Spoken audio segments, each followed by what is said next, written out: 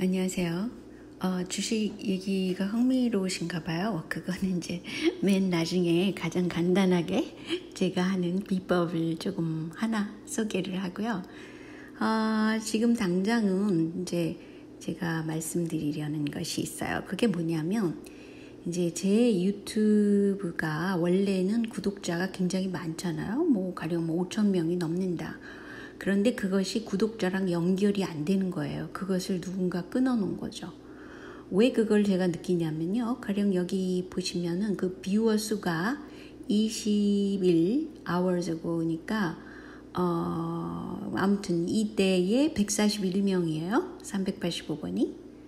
그런데 신기하게도 어, 24시간을 해봐도 141 view란 말이에요. 그렇다면 어, 거의 3시간 동안에 아무도 viewer가 들어오지 않은 거예요. 이게 있을 수 있다고 생각하세요? 그러니까 이런 식으로 중간에서 누군가 차단을 하거나 아니면 뷰어, 수, 뷰어 수가 거짓말로 이렇게 등록시키는 거. 둘 중에 하나죠. 그죠?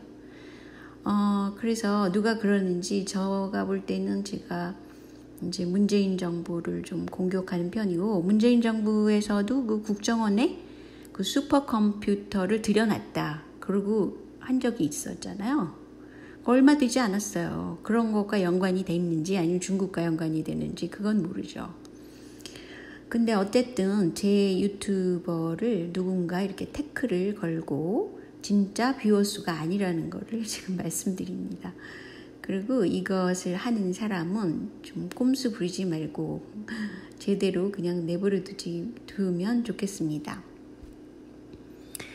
그런데 말이죠. 그 2015년 이태리 해킹 팀이 한국의 그 대선을 엉망으로 만들고 어, 개표 조작을 했잖아요. 그래서 5163 부대와 거래를 했다. 그래갖고 좀 떠들썩했었거든요. 근데 국정원의 임 과장이란 사람이 빨간 마티즈에서 스스로 목숨을 끊었다. 라는 사건이 발생해요. 그래가지고 국정원이 아이고 임과장 불쌍하니까 이번 이, 이번 이 이만 덮자라는 명분으로 삼았다는 거예요. 그러니까 한국은 무슨 사건이 좀 크게 일어나면 그걸 덮기 위해서 누군가 죽어 나가는 거죠.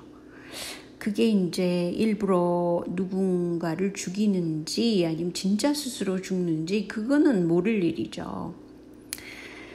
그런데 말이죠. 이 지금 사건이 일어난 거 어, 윤, 윤미향 씨, 이 사람이 이제, 어, 큰 문제를 일으켰기 때문에 지금 국회의원은 어, 하겠다고 또 나서고 그런데 정의연의 그 기부금 사용에 대해서 검찰이 이제 조사를 하고 있다 그래요.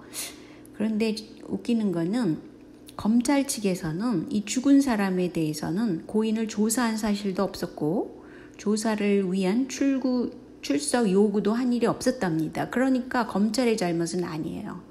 그럼에도 불구하고 왜 죽었을까? 경찰 입장에서는 스스로 목숨을 끊었다. 타살한 적이 없다. 이렇게 얘기를 했다 그래요. 어, 그런데 이것이 마치 그 빨간 마티스 사건과 비슷하지 않나? 이렇게 생각이 됩니다. 누군가 꼭 죽음을 통해 가지고 그 사건을 덮으려고 한다는 거죠. 근데 윤미향 씨 사람은 그 돌아가신 아, 지금 죽은 그 A 씨에 대해서 회고하면서 글을 올렸다 그래요. 6일 늦은 밤 SNS에 올렸는데 뭐라 그랬냐면 아이고 좋은 일을 함께 하는데 월급이 적어도 괜찮다. 그렇게 하면서 만나게 됐다. 세상에 어떻게 같이 일하는 사람도 이렇게 어, 부려먹었다는 거예요. 기가 막혀. 이 사회단체들이 을 빙자해 갖고 이렇게 에, 그 월급도 제대로 안 주고 이랬다는 거네요. 그런데 그 분이 A씨가 굉장히 착해가지고 웃음으로써 그 굉장히 운동에 큰 에너지가 됐다는 거예요. 근데 현재 이 글은 지워진 상태래요. 아니, 윤미향 씨는 뭐예요? 자기가 떳떳하면 이런 글을 올렸으면 그대로 둬야지 왜 지워요? 아, 그런데 말이죠. 4일날 윤미향 씨가 의원이, 국회의원이 되자 그 유학비 논란의 딸, 특히 저는 피아노과라는 게 이게 마음에 걸려요. 뭐 해피룸 피아노과를 위해서 UCL까지 A까지 갈 일이 있어요?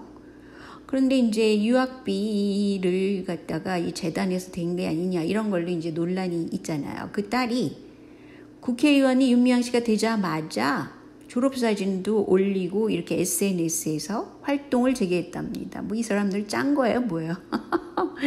참 하는 거 보면 좀 조금 낯간지럽죠 한마디로. 그래갖고 어떤 사람이 이거 막 욕했어요. 뭐 미친 개장 뭐 어쩌고 저쩌고 저희 사실 욕을 잘 못해가지고. 근데 이거를 트윗에서 보는데 막 속이 다 시원하더라고요. 네 딸이 외국물 처먹어 가며 그 피땀으로 서린 돈으로 가르쳐서 좋겠다. 이 말이 굉장히 와닿는 거예요.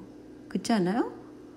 그러니까 딸은 그렇게 외국에서 곱 쉽게 피아노과로 유학을 시키면서 그 위안부 할머니들은 그 피땀 어린 그리고 돈도 제대로 써보지도 못하고 그리고 완전히 그 할머니들 이용해 갖고 이 돈을 진짜 거둔 거 아니에요. 그러니까 이제 이렇게 욕이 나오는 거죠. 그래서 사실은 트윗에서 보면 이 진보 측에서도 되게 많이 욕을 하, 하더라고요. 그 이거는 그냥 덮고 가자? 누가 나 죽임으로써 덮고 가자? 이거 좀 있을 수 없는 일이라고 생각합니다. 그래서 제가 어, 이것을 거론하고요.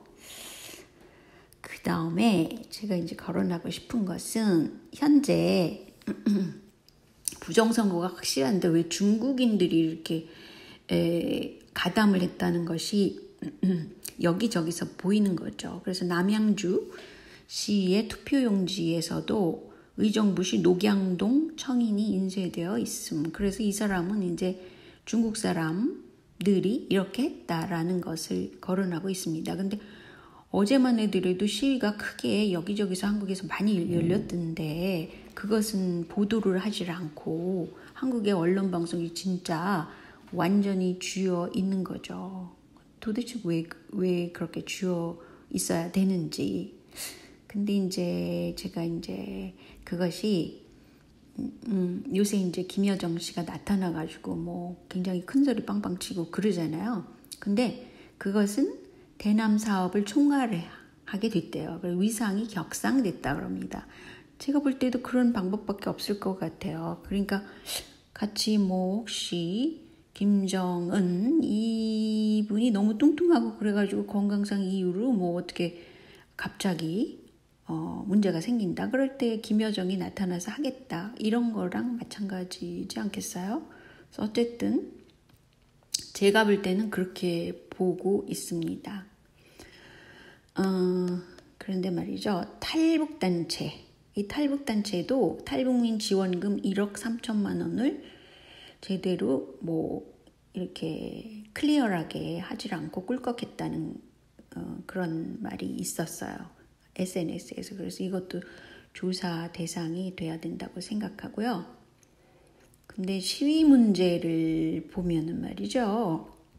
여기 보세요. 프로페셔널 아나키스트 200달러 줄 테니까 여기 와서 일을 해라 이런 거거든요. 시위에 참여해라. 그러니까 이건 완전히 그 돈에 의해서 사람들을 모아가지고 이 소로스가 이번에 그 어, 흑인 어, 문제를 다루면서 그 어, 인종차별로 가서 그 대선에서 트럼프의 지지도를 떨어뜨리려는 게 확실하죠. 게다가 이제 오바마 게이트를 어, 트럼프가 내세우고 그것을 파헤치고 있기 때문에 어떻게 하면 트럼프를 음, 대선에서 되지 않게 할까 중국하고 짜고 그랬다는 거죠. 중국 사람도 상당히 많이 여기 인볼브 된 자료가 엄청 많더라고요. 보니까 특히 LA 지방에서는 특히 많이 그런 것 같더라고요. 그래서 어, 이런 것을 있는 그대로 한국에서는 알아야 된다고 생각하고요. 그런데 이제 제가 다음을 많이 이용을 하는데 그것은 뭐 네이버 어, 잘, 잘 들어가지 않아요, 저는. 근데 이제 다음에 보니까 요새 들어서 슬쩍슬쩍 성소수자 문제도 다루지만 특히 이게 한 화면에 잡힌 건데요. 캡처가 된 건데요. 뭐 여기는 호주, 여기는 남미, 여기는 중국. 그래가지고 굉장히 그 사건 사고에 대해서 한꺼번에 막 다루고 있더라고요. 한국 얘기는 여기 하나 딱 있었어요. 그런데 그 뭐 악어에 물린 거 아니면은 뭐 임신한 소녀의 뭐를 살해해가지고 뭐 태아를 꺼낸 뭐 상상하기 힘든 그런 사건들 있잖아요. 중국도 얘기를 하면서 10년간 본명과 나이를 속인 애인 뭐 사기잖아요 이거는 거짓 사기 뭐 이런 것들 그리고 끔찍한 살해 뭐 이런 것들을 왜 해외 리포트처럼 이렇게 보도를 해야 되나요? 이거 저 이상하다고 생각합니다. 서울신문에서 특별히 많이 그런 걸 보도를 했네요. 서울신문이 그런 거를 주로 담당하나요? 그게 좀 이상하다고 제가 생각해서 아무리 세계화, 세계 통제화를 한다 하더라도 이런 식으로 그 음, 눈살 찌푸리는 그런 사건들을 한꺼번에 그렇게 많이 몰아서 이렇게 보여줄 필요가 있어요. 그럼 사람들이 있잖아요. 뉴스를 보면 거기 따라가게 돼 있습니다. 그거 이제 모방 범죄도 나타나고 한국은 그러잖아요. 무슨 어, 끔찍한 사건이 사건을 가지고 TV에서 그 뭘 보여줬다 그런데 그대로 따라한다 이런 것들 모방 심리가 작용을 하기 때문에 이거 사실은 큰 문제입니다.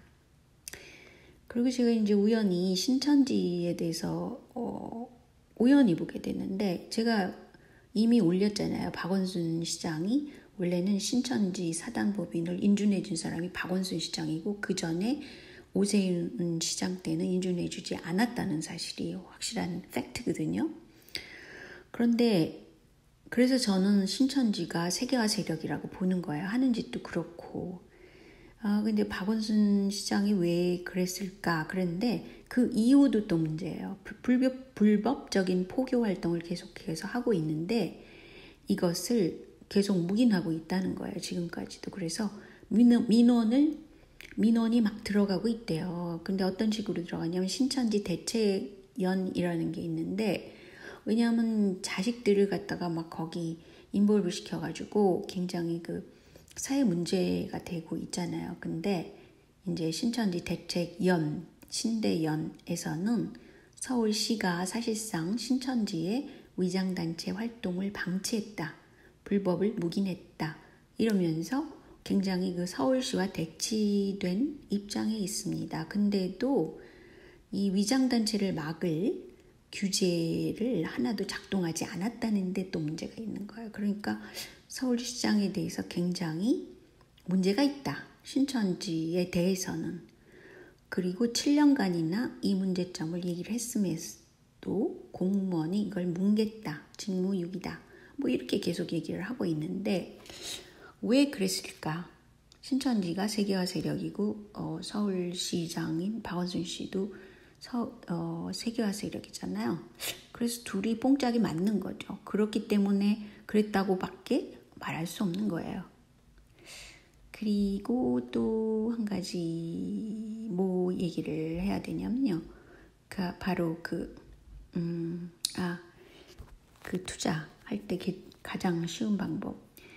그것은 이것은 제가 사실은 제 딸 나이가 20대 아직 30이 안 된 애가 있는데 걔가 가르쳐 준 거예요. 뭐냐면 구글에서 그 주식을 걔도 그 주식을 하고 아들도 주식을 하고 막 그러거든요. 재밌게. 그런데 어떻게 하냐 그랬더니 그 가령 보잉 주다 그러면 여기 BA가 그 음, 그 뭐라 그러죠? 이니셜 같이 만들어낸 어, 그런 암호 같은 거예요. 그래서 모잉을 지절한 거 BA를 쳐야 돼요. 그래서 구글에 가가지고 BA 스톡 이렇게 치면은요 이런 차트가 나옵니다. 차트가 나오면 재밌는 것이 6개월짜리랑 1년짜리를 한번 클릭 클릭 해보라는 거예요. 그러면 차트가 6개월 거예요. 이건 제가 이제 일부러 가져온 건데 원래는 2월까지 이렇게 굉장히 높았는데 이렇게 뚝 떨어져서 이제 겨우 올라가는 거다. 이런 걸 나타내잖아요. 그러니까 모든 각 그 주식 그 상품에는 그런 식으로 체크업을 하게 돼 있어요. 그러니까 뭐 구글링을 하라는 거죠. 그래서 일일이 다 구글링을 하는 겁니다. 그러면 아직도 올라올 가능성이 높은 주식가라는 게 판명되는 거죠. 그러니까 주식은 미래를 보고 투자를 하는 겁니다. 아주 심플해요, 사실은.